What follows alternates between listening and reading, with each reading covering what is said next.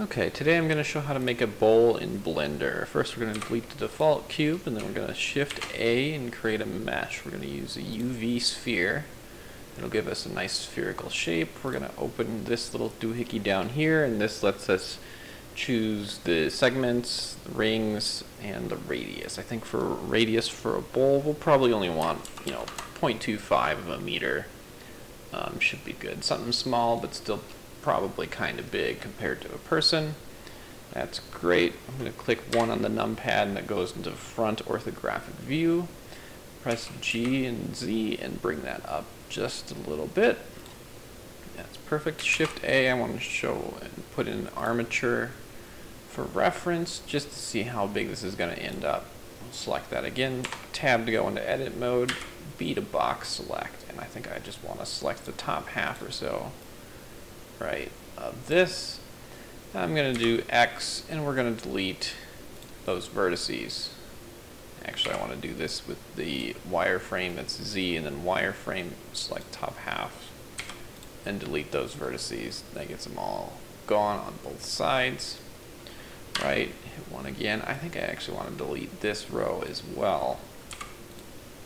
Alright, and that makes a nice little bowl shape tab to go back into object mode, Z to go back to solid view, right? And now we have a bowl that looks like this. That's probably roughly the right size, so we'll hide the meta rig there on the right. This bowl, we want to make it so it has some thickness, right? But first I think we want to make it so that way the bottom of it is not rounded, but we want it to be flat. So again, for that, I think I'm going to select that I want to go back to wireframe just so I can see better. G and then Z, move it up just a little bit to that. B to box select. Select that bottom row, G and then Z. Move it up like that. That way it's not too rounded on the bottom. Tab back to object mode. And we're going to save this as a bowl. All right. Uh, Z solid. Perfect. We have a bowl looking thing. It is still extremely thin, has no thickness. We're going to go over here to the right to the little wrench icon, modifier properties, hit add modifier, and I believe we want solidify, right? We can change the thickness here if we like. Honestly, this thickness looks fine to me. Change the offset if we like. I think it looks perfectly fine to me still. So that's great. All right. I'm going to go ahead. I think this looks good to me. Uh, I'll apply it. Once I apply it, it will be permanent. I can't undo it, so I'm going to hit apply because I'm fine with this. Right? That looks good. Perfect. Maybe the only thing I'll hit 2, you know, tab into edit mode, hit 2, just do edge select, uh, hold Alt and select that edge loop, and hold Shift and select that edge loop. So now I have both edge loops. Do Control B to bevel. Pull my mouse away a little bit, and that lets me give just a little hair of a, a bevel on that just to make it a little bit rounded there, right? Tab back into object mode. Great, now we have a rounded edge on our bowl. You won't cut yourself when you're trying to drink from it. Got a relatively flat bottom. The bowl won't, you know, slide around everywhere. This is great. You know, Control S save, go to the shading tab at the top, Alright, one thing I want to do is I want to shade this smooth. So I can either right click and hit shade smooth, I can do F3 and type shade smooth. Um, or also if I have that set to my quick favorites, you know, by right click, add to quick favorites, right? And then I can hit Q and I'll have shade smooth. I already had that there for some reason. Right, shade smooth. Perfect. Bowl is smooth. Wonderful. New material. Bowl. And we'll do a blue stripe. Full blue stripe. We'll do that for the color just to add some interest, right? It'll be a, a white ceramic bowl.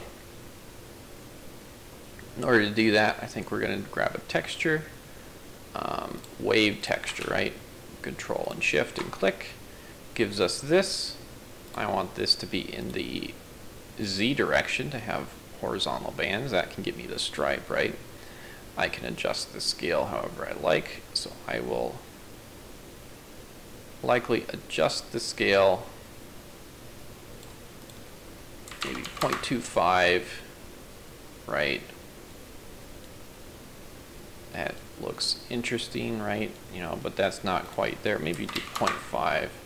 That kind of gives you a middle one there, um, but it does make the bottom be um, like that. If I do Control T on this with my uh, Node Wrangler, I should be able to change actually the location of the texture, right? So I can click this around and that lets me adjust that, right? And as you can see there, I've got it so it's, you know, maybe do a 0.75 or something there, right? That puts the band relatively in the middle and that puts the, you know, none of the dark colors at the top or at the bottom so much.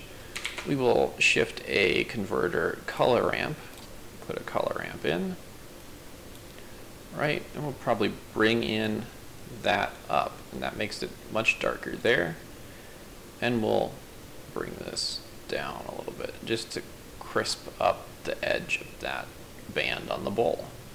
Bands on the inside and outside, that seems fine and acceptable to me. Great select this whole bit, G, move it over, more space, Shift A, color, mix RGB, and we'll plug this into the factor, and this will let us change the colors. So on one side we want one color, alright, so this will be the stripe, and so we'll change that to be a nice blue kind of color, maybe something like that, and this will be simply white. Right, perfect. There'll be blue on the bottom. That should be fine. Right. Looks like there's even a little bit of a rim of blue at the top. That should be fine as well. Uh, if anything, you can change the scale just a, a hair smaller, I think, right? 0.4. Right, 0.5 is that. 0.45. It's hard to get lined up properly, but this this should be fine, right? That can plug into the base color. Alright, now then, let's talk about roughness. We'll do a texture, a noise texture, control shift and click on that, and we'll see what that looks like. For this one I'm going to do two textures actually. One is going to be a higher frequency texture like that, and the other I'll have be a lesser frequency color texture like that. That should be good. I don't need that. So that was actually, if you have a thing hooked up to the wrong thing, you hold shift and right click to draw. And that lets you do that. That creates a node there, and I hit X and that deletes that node. And that's a good quick way to get rid of those connections you don't want. Shift A, and I think we're going to do a mix RGB, and we're going to plug this into here and this into there. You see how that looks. That's not quite what I want. I think I'll plug this one into here right? Yeah, that seems roughly okay. Switch those around. I, of course, color ramp. Uh, Shift D to duplicate that color ramp and drop it on that. Bring these over. Bring this one over. I'm actually going to make this big. I'm going to hold my mouse over this window. I'm going to do a control and space bar and that lets me just focus on just the nodes without having to see everything else right now. And that'll let me do a little bit of tweaking here. Right? Um, which I expect I'll have to do anyway. So then we'll those, and that will let me see that. Do a control and spacebar again, and that should let us see what is going on here with these. Um, right.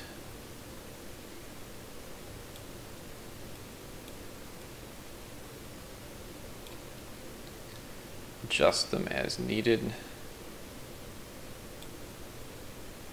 All right. That seems okay. We're going to plug this one into the roughness. Just like that, control shift on that. Give it a moment. And now you can see there's roughness on that. So it's a little bit, you know, smooth and a little bit not.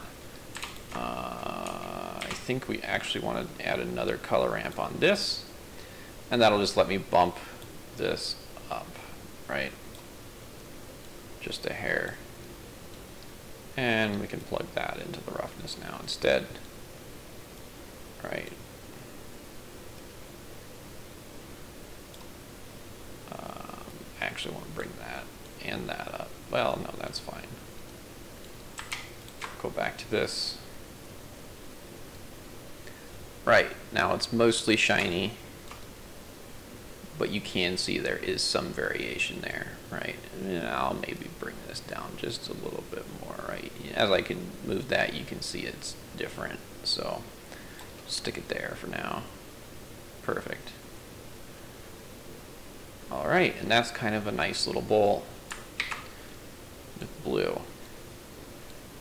Now, what we can also do is we can hit new and now create a copy via this button, right? And we can make a copy. And we'll call this one, you know, maybe a different color stripe, right? We could do a red stripe, not a reed stripe, but a red stripe. And we all we have to do is change this one color to be whatever we want, right? And then there we have it. We have a nice bowl with a red stripe. Away we go. All right. Now I think let's go ahead and see about baking this out, right? Because we could bake this out and then we could see it in Godot or some other tool. To do that, we need to add a image texture. Go to texture, image texture from the shift A, hit new. It's just a small bowl, 1024 by 1024 should be fine. You could probably actually, I'll, I'll give this a try at 512, right? That's the next power of two smaller than the bowl. Uh, we'll call it bowl red stripe diffuse. Right, that seems good. Hit OK. Perfect. We're going to go over here, change this to cycles, go to the bake drop down, expand that. Bake type is diffuse. Deselect direct and indirect. Go over here to the image viewer editor and click on the bowl red stripe diffuse. Have this selected, have that selected. Only direct or only color, not direct and indirect. Bake that. We'll see what we get. Actually, no, that won't work. I will cancel that because we have to unwrap. So I'm going to, because see, right now if I select this and I go to the UV editor, can see that all the UVs are like that, which honestly, that's kind of useful. I feel like we could bake, take advantage of that. Right? What if we baked all of these to the same texture? We could do red, or you know, red there and blue there. Let me do that. Um, although you'd have to change your UVs, so it's just a little bit less than ideal. And also we can't have difference on the in and outside. So I'm going to go ahead, you know, select A, U, Smart UV Project, two clicks on the right side of the island margin and hit OK. That does this. It looks weird as heck, but it works. Trust me. Highlight that. Bake it.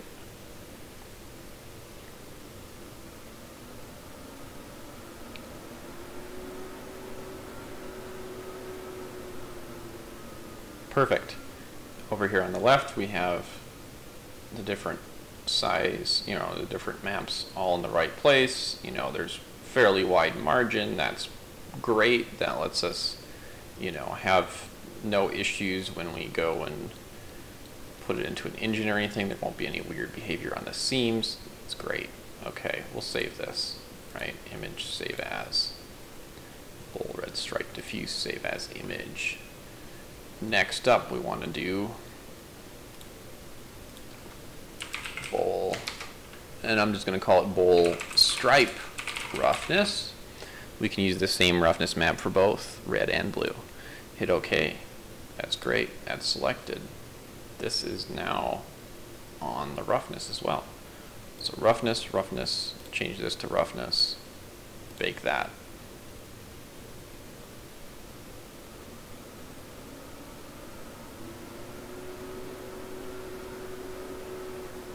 Perfect, it's already back. Right, that gives us the roughness map down here. We can save this now. Let me go back to actually the image editor because that makes way more sense. Save as, uh, cancel. Or well, I guess that works. Save as, right? Yeah, sure, save as. So that's saved. Alright, we did the red, we did this one, the roughness. We don't have any other maps to bake. Let's go ahead and do bold stripe blue. Uh, diffuse. Same size. Hit OK. Actually, I'm going to change this to bold blue stripe, and then that means I have to add the texture here. Right? Bold stripe blue diffuse. Blue stripe, whatever, stripe blue. Go over here back to the diffuse and make sure things are checked correctly without direct or indirect on. This is selected. This will go and look at the blue diffuse and we will hit bake.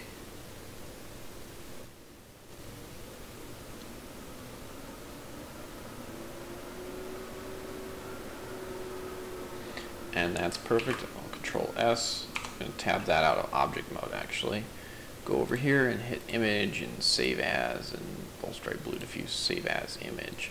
Perfect. Alright, now that we have those images, I'm going to show how to set them up in Blender to view. So I'm going to make a new with the images image material and I'm going to go and just kind of nuke all that and nuke that and I'm going to shift A add image texture and we're going to go ahead and choose the bold stripe blue diffuse. That can go into the base color and another image texture. Bold stripe roughness can go into the roughness. Right? And look at that. That's using the baked textures and not the procedural textures. That's great. That's perfect. So if you want to do this in Godot, you just go up here, export it as a OBJ or GLTF, and then bring in your textures, and away you go.